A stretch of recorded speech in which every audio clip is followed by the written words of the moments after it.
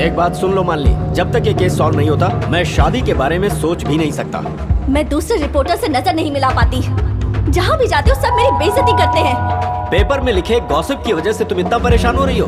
मैं जहाँ भी जाती हूँ सब मुझसे कहते हैं कि मैं डीसी की गर्लफ्रेंड हूँ। अगर तुम्हें शादी की इतनी ही जल्दी है तो तुम खुद उस साइको किलर को पकड़ो। फिर हम दोनों उसको पुलिस के हवाले कर देंगे और सजा दिलवा कर शादी कर लेंगे। उस डेड बॉडी का क्या किया? वो लेकर चला गया। वहाँ से लेकर चला गया। और वो दूसरा कौन है?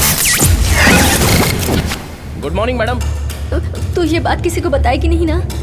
मैं तेरी फ्रेंड हूँ यार। और इस केस को सॉल्व करने के लिए मुझे साइको किलर को पकड़ना ही होगा।